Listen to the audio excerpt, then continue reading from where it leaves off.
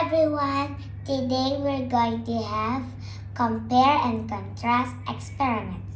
The materials are spoon, two glasses with water, food coloring, and salt. Let's begin. In the first glass, we're going to put 5 teaspoons of salt.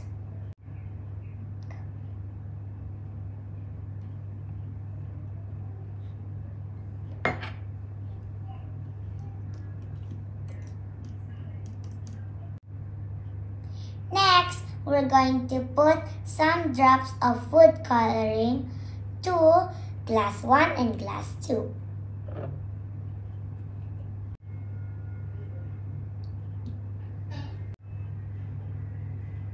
Let's see what will happen. Observe what is happening.